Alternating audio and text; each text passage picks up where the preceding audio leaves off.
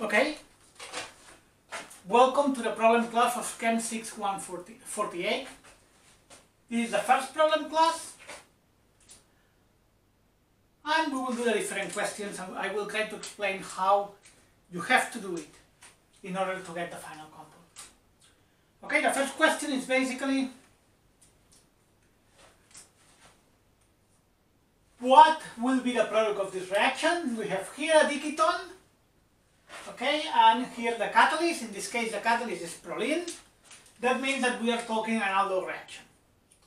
When we are facing this type of problem with these two ketones, what we have to do is first of all, try to decide which type of reaction we will have. Okay, basically, we have two different options.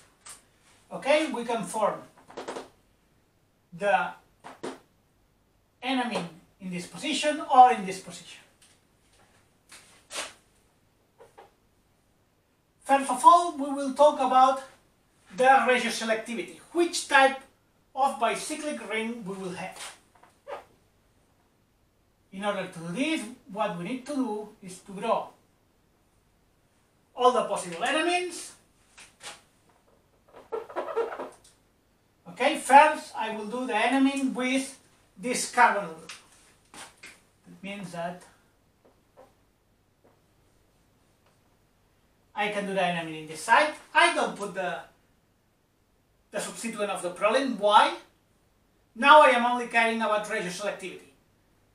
Remember that the carboxylic acid will be very important in the stereoselectivity, but not in the regioselectivity.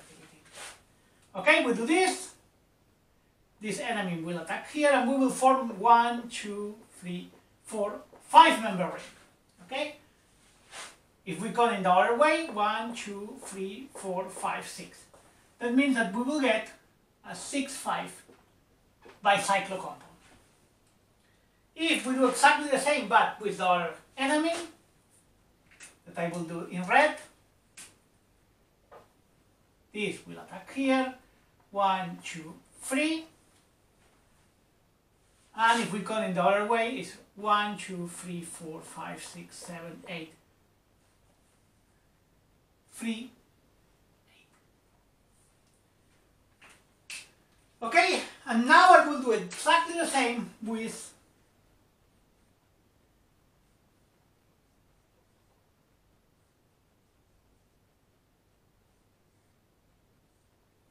with the other carbon.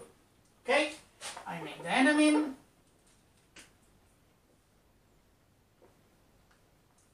If I do this enamine, one, two, three, four, five, and if I come in the other way, one, two, three, four, five, six. That means I will form five, six bicyclic ring. If I do the enamine in the other side, this will attack here. One, two, three. Three, and if we count in the other way, one, two, three, four, five, six, seven, eight. Three. And now we decide which is the most possible fused ring formation. Of course, will be the two enamines that will render us a 6-5 bicyclic ring. Okay? 5 member rings are very easy to do, 6 member rings are very easy to do, 8 member rings and 3 member rings are less stable. That means that if we do this reaction, what we will get is a bicyclic ring 6-5. This is the regioselectivity.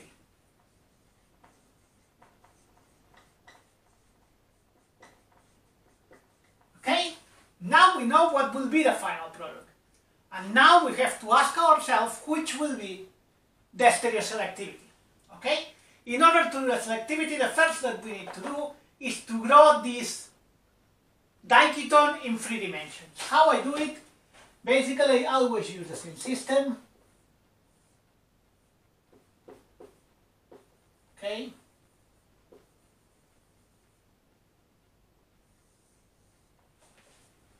Okay, this I put the two ketones one in front of the other. This ketone that I draw it a little bit more uh, bold will be in front of the, of the whiteboard. This ketone will be on the plane of the whiteboard. And then the only that I need to do is to draw the catalyst. Okay? I will do exactly the same for this.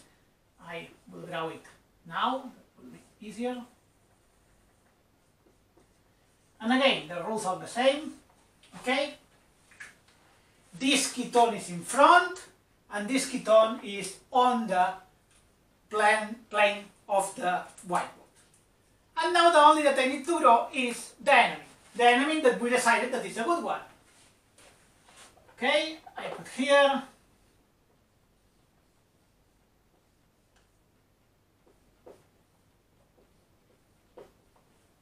catalyst and the enamine we decided that is going in this way to form the 6-5 member ring. That means this way. If the enamine is in this way, I have to put the carboxylic acid just on the opposite way. And I have, to be careful, you have to put the same stereoselectivity that we have in the question. If we change the uh, stereoselectivity, obviously it will be a mistake. Okay? If we do exactly the same here, here the drawing will be a little bit more nasty. Not so much. Okay.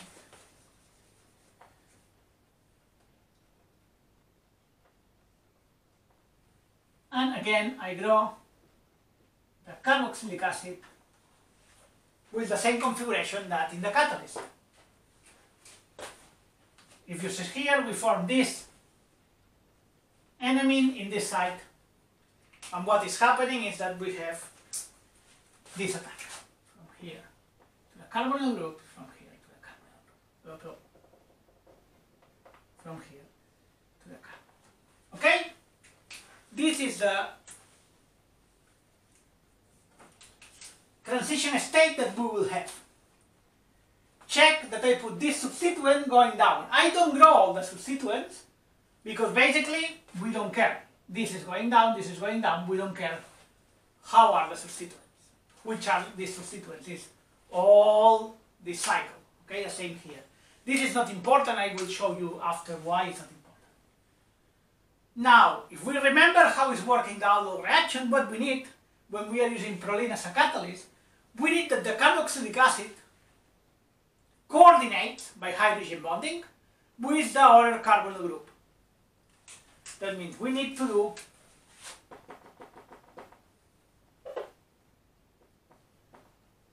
a hydrogen bond between the hydrogen of the carboxylic acid and the carbonyl that is attacked. And same here, we have to do a hydrogen bond. We do it here, we have, remember this ketone is in front of the slide. This carboxylic acid, if this is planar, is going in front of the slide. That means that this coordination is possible. Okay? If this is going in front of the slide and this is in front of the slide, basically the coordination is quite easy. On the opposite, on the opposite hand, when we are doing this, this is in front of the slide. The carboxylic acid is coming in front, and the ketone that we want to activate is here. Simply this interaction will not take place. It's impossible. Okay? Here is a ketone, here is a carboxylic acid, and the ketone that we want to activate is here. It's going in opposite directions. That means this transition state will not work. Why? Because we don't have the coordination between the carboxylic acid and the other ketone, okay, with the other carbonyl. It's not possible by geometry by 3D. Here is the, the ketone and the carboxylic acid is going to U instead to going to the whiteboard. Here is the opposite. The enamine is in the plane of the whiteboard, this is in front, and the carboxylic acid also is coming in front. That means that the coordination will be very easy. This will be the right transition state. And then we only need to draw it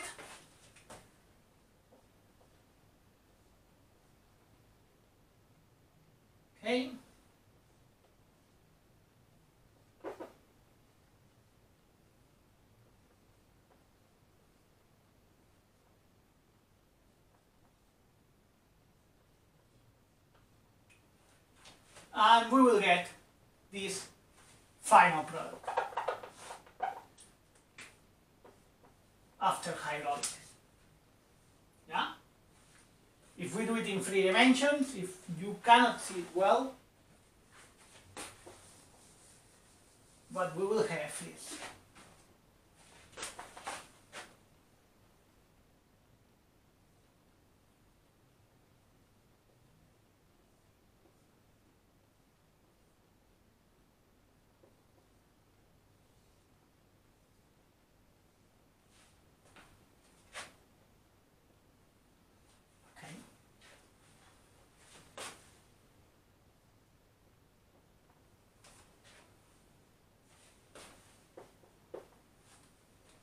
when we make this planar, we have a six-member ring, basically. What we have is grow this substituents, that is all of this. You can count electrons and you will have the six five ri- rings, basically ring. Okay? And when we do it, this planar, this hydrogen is up and this OH is up. Okay? That means how we do this exercise. First, we have to know which regioselectivity we have. Okay, basically we can choose between a, si- a 6-5 or a 3-8. Obviously 6-5 is more stable, our two rings more stable. And then, when we know the regioselectivity, we draw the two possible enamines with this enamine, the blue enamine, and the blue enamine, and we check in which one of them we have a coordination between the carboxylic acid and the other carbonyl group. The one that has this coordination will be the right transition state, is the transition state that will lead to the final product.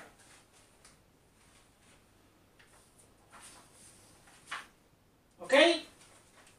Right? Okay, second one is very similar.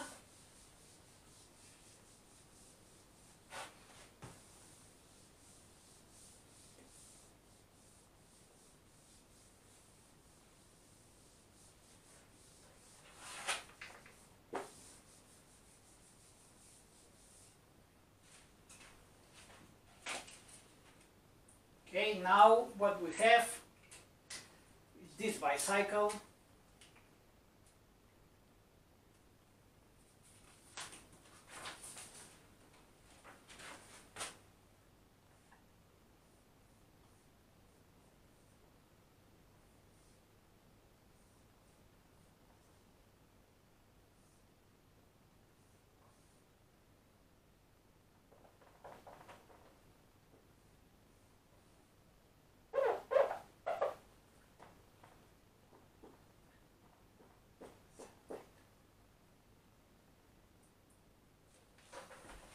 Okay?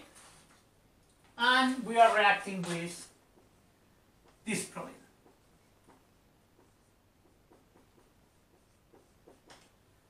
Okay?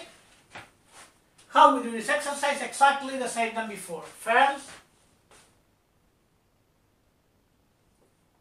we draw all the possible enamines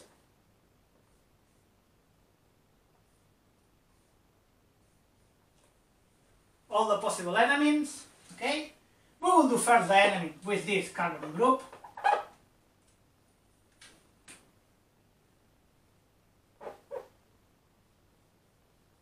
Okay? First enamine, we can do it in this side. This is attacking the other ketone, and we have one, two, three, four, five, and on the other side, one, one, two, three, four, five, six, seven. Five, seven ring. If we do the enamine on the other side, in red, we will have here three, one, two, three, and on the other side, one, two, three, four, five, six, seven, eight, nine. Three, nine. We do exactly the same but with the other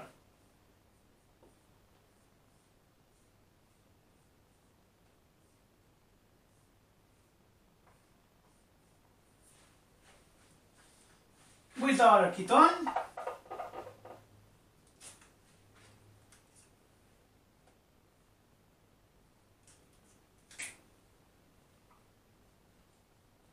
Okay, first the blue. This will attack here. That means one, two, three, four, five. And on the other side, one, two, three, four, five, six, seven. Five, seven. If we do the our enamine on the other side, one, two, three. On the other side, one, two, three, four, five, six, seven, eight, nine. Okay?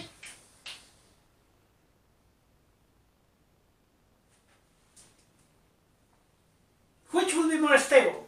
Obviously the bicyclic 5-7 will be more stable than 3-9.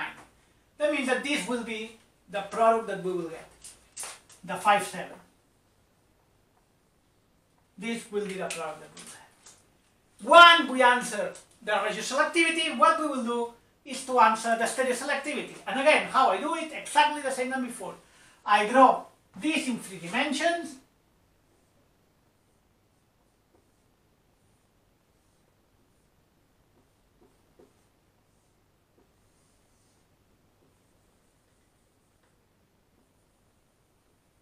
Okay, I put this ketone in front of the of the whiteboard and this is behind is in the plane of the whiteboard. I draw here the same.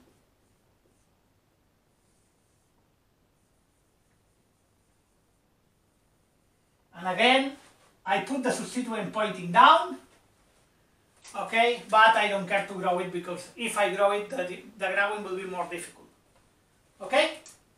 And doesn't, doesn't have any interest, the rest of the molecule.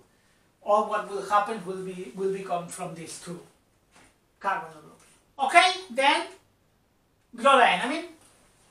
First I will draw the enamine of this ketone. Okay, the enamine, we decided that is in this site to get the 5-7.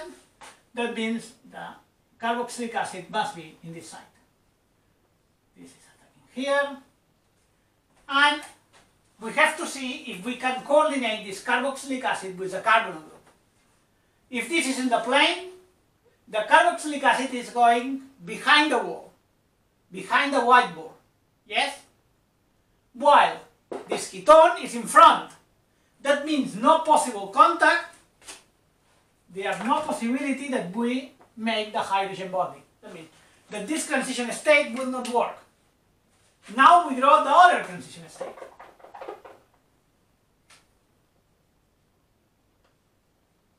Okay? The enamine has to be in this side, okay, in order to form the 5-7 member ring. And now I draw the same catalyst, the proline. Okay, now we check. This is in front. Where is going the carboxylic acid? Behind. That means the carboxylic acid is going in the direction of the other ketone. Now we can have very easily a coordination between the carboxylic acid and the ketone. And this coordination is not important only to know the stereoselectivity, but also to activate. This is why this will be the active form. This will be the right transition state. We draw it in this way. Okay, that means that the final compound will be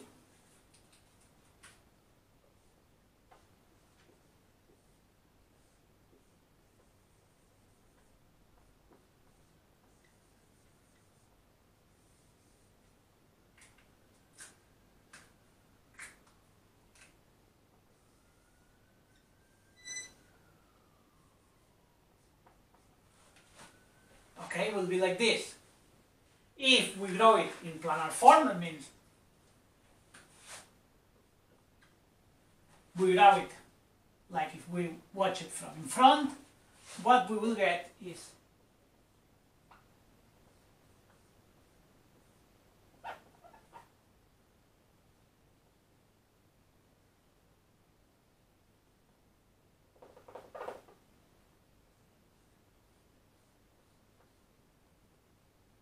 1, 2, 3, 4, 5, the 5 member ring, 1, 2, 3, 4, 5, 6, 7, the 7 member ring. Okay? Right? Okay, what is difficult here? Basically, we have to be very ordered. I mean, first do the regiochemistry, once we know the regiochemistry, then check the stereoselectivity. And you will see that when you grow one ketone in front of the other ketone, in one case, you will have an easy coordination between the carboxylic acid of the proline with the carbonyl group, and in the other case, we don't have any coordination. Okay, the coordination will go very far away one of the carboxylic acids at the ketone.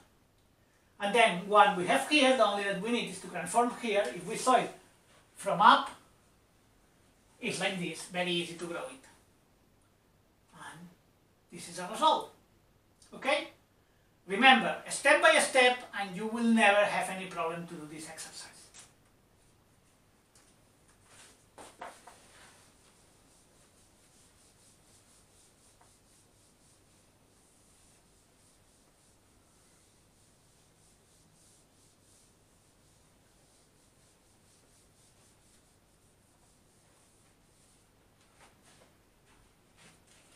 Okay, then we go for the second part of the exercise. We have this compound.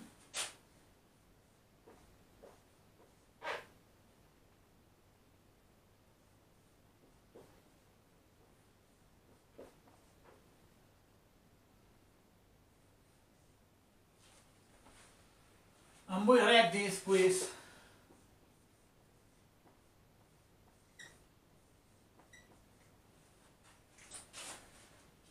Again, this is only description, this ring. In reality, doesn't work for anything.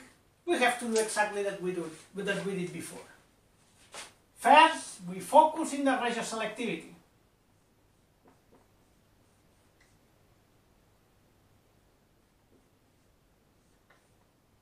Okay?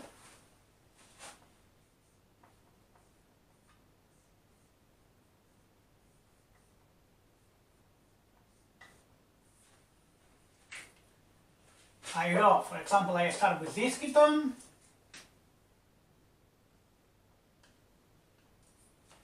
I can have two different enamines. I do this with blue. Okay, this will give one, two, three, four, five. Five member ring in the other side. One, two, three, four, five. Five, five. If I do exactly the same but with red, the other enamine. One, two, three. 1, 2, 3, 4, 5, 6, 7. 3, 7. And I do the, exactly the same with the other group. I make the enamine. I start with this. If I do this enamine, the blue, 1, 2, 3, 4, 5. 1, 2, 3, 4, 5. If I do the enamine on the other side, one, two, three, one, two, three, four, five, six, seven. And again, I have to choose which is more stable. Obviously, a bicycle 5, 5 will be more stable than not a bicycle 3, 7. That means that this will be the enamine that we will consider in order to do the stereoselectivity. Next step, how I do the stereoselectivity. The same than before. Forget that we have an aromatic ring here. I draw it, the two ketones, one in front of the other, in the same way than before. Okay, this ketone in front, the other behind, and the two substituents going down.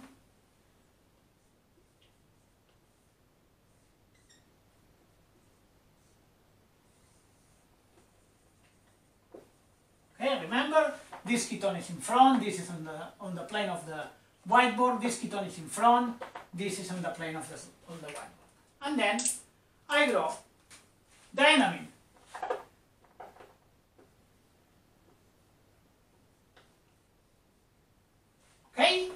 And I Okay?